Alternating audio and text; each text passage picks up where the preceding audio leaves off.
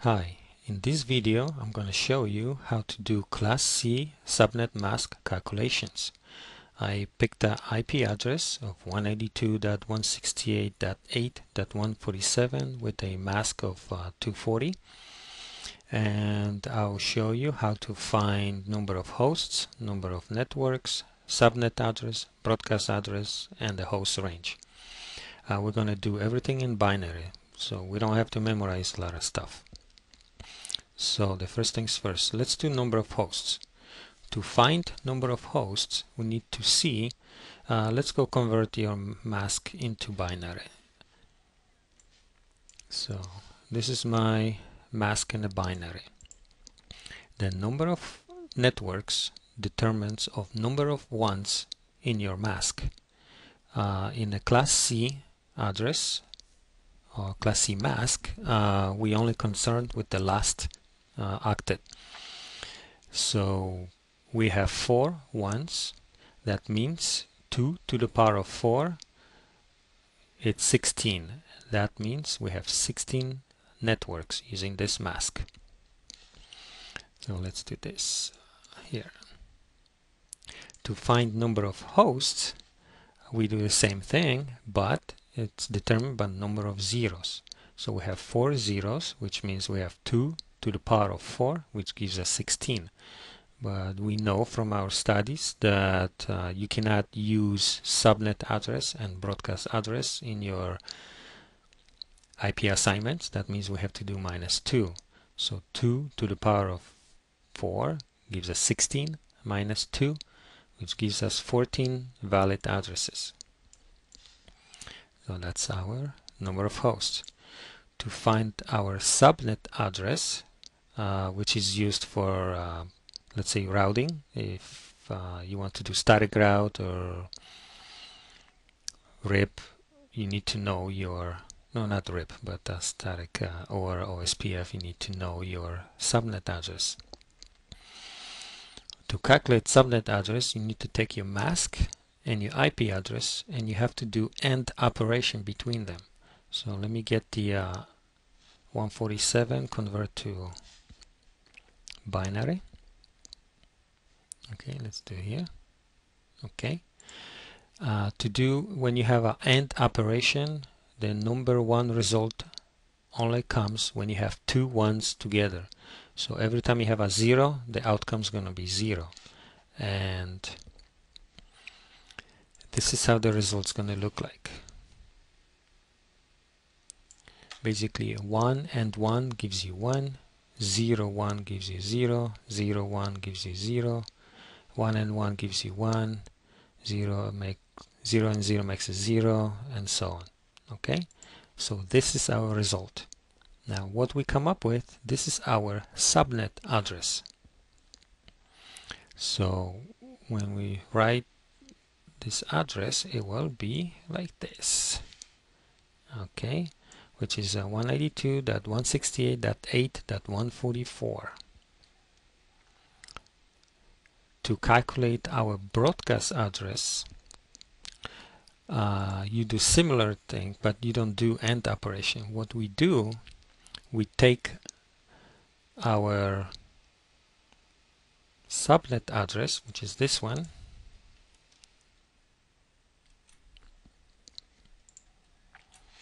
okay. This is our subnet address. And then we take our mask. And what we're gonna do when you see ones here and you see zeros here in your mask what we need to do we have to change these. We have to change these zeros into ones so the result is this. Okay, the result is this.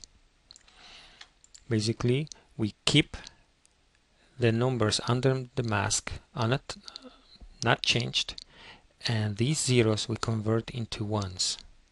It's very simple, which gives us 159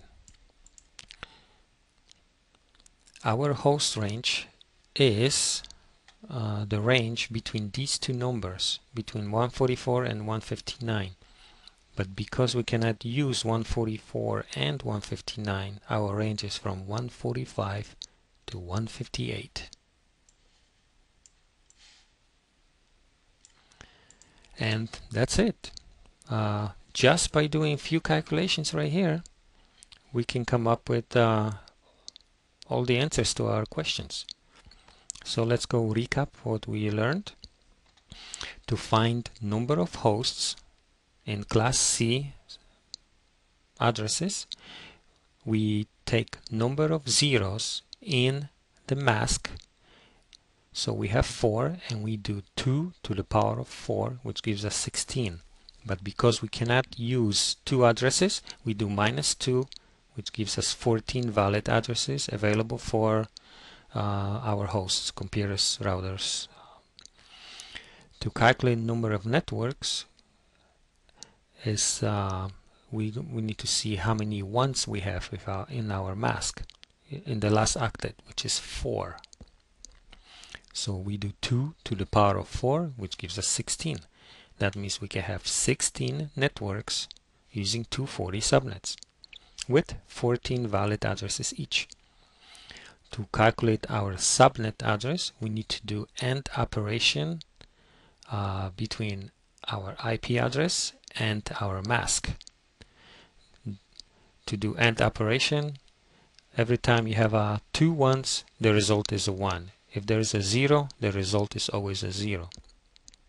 When we do AND operation, this is our result which converted to decimal gives us address of 144.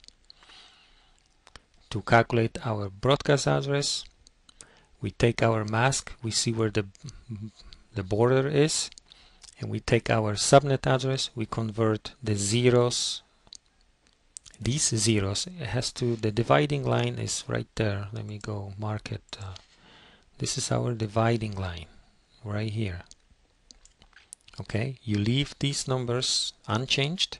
You only change these fours into ones which the result is right here.